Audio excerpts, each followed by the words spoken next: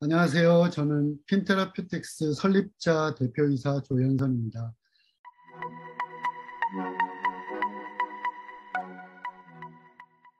저는 이번 발표를 통해서 제가 미국에서 바이오텍을 설립하고 다시 한국에서도 어, 바이오텍을 계속 운영하고 있는 그 전반적인 어, 노하우에 대해서 간략하게 발표드리려고 하고 잠시 후에 소그룹 미팅에서는 어, 바이오텍에 취업할 때 고려해야 될 사안과 그리고 바이오텍에 이제 취업을 했을 때 어떻게 잘 적응해야 되는지에 대해서 좀 말씀드리려고 합니다.